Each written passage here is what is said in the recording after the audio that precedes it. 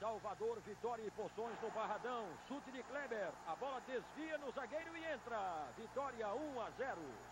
Bebeto fecha o placar com um chute forte. Vitória que vai ter vantagem na decisão do turno com o Bahia. 2.